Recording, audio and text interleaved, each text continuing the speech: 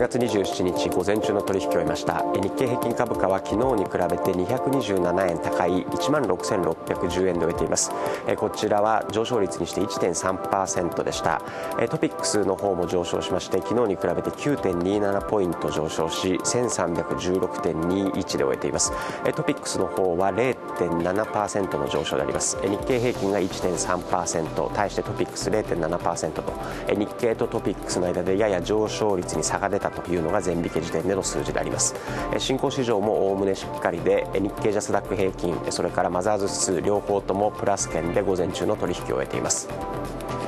それでは日経225のチャートをご覧いただきたいと思います。今日日経平均株価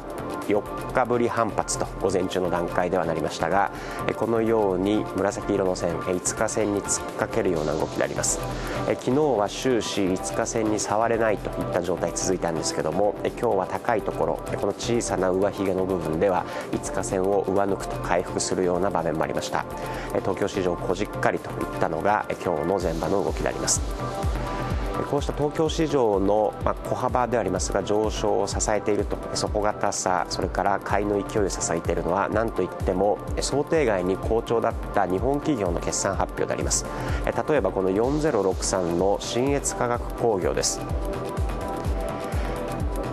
日本の企業決算ですが、まあ、前の段階の市場観測では、まあ、去年の今頃に比べると大幅な減益ではないかという見方が一般的でした。ただ蓋を開けてみれば、まあ、さほど懸念される状態でもないというのがこの新越科学に象徴されています。新越科学はこのように今日窓を開けて上っ離れて大陽線。株価の方7153円と。去年の12月以来の7000円台に乗せて年初来の高値更新。午前中の段階でこの銘柄にしてははかなり強烈な15%という上昇率を記録しています。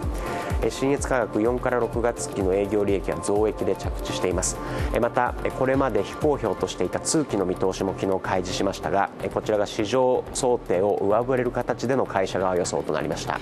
この辺り一気に安心感から買われたようであります。一方で逆に業績は好調でも悪いニュースが出ていた銘柄などは売られています。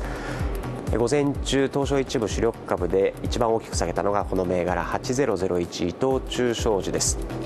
こちらは今日このように窓を開けて下っ離れて1135円まで売られまして年初来の安値を今日更新してきています。9%近い下落率でありました。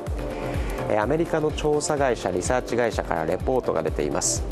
資源鉱山関連での損失を去年の本当は載せなければいけない時期の決算に載せていなかったのではないかと、まあ、不適切な会計処理ではないかという指摘がなされています。これに対して伊藤忠側からは午前中の段階では公式なアナウンスメントが確認されていません。この辺り投資家を不安に陥れたようでこのように急落を演じました。今日の午前中の東京市場は、まあ、想定事前の想定よりも好調な企業決算が支えとなりまして日経平均株価午前の段階では4日ぶりの反発で終えています。以上東証アローズよりお伝えしました。